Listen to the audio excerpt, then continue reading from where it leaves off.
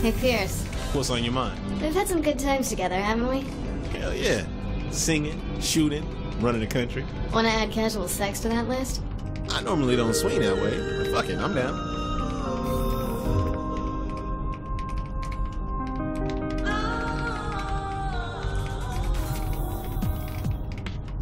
Clearly, you're too tense and uptight right now. Dr. Pierce orders you to go out and have fun, blowing off some steam. Hey, don't argue, just go. I suppose you're right.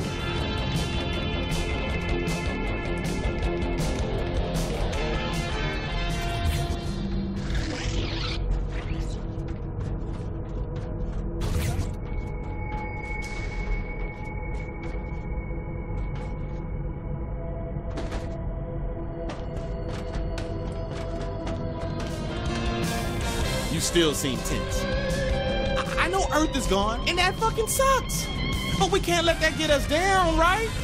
Maybe try out something like this new inflator ray to take your mind off the bad things. I do like new weapons.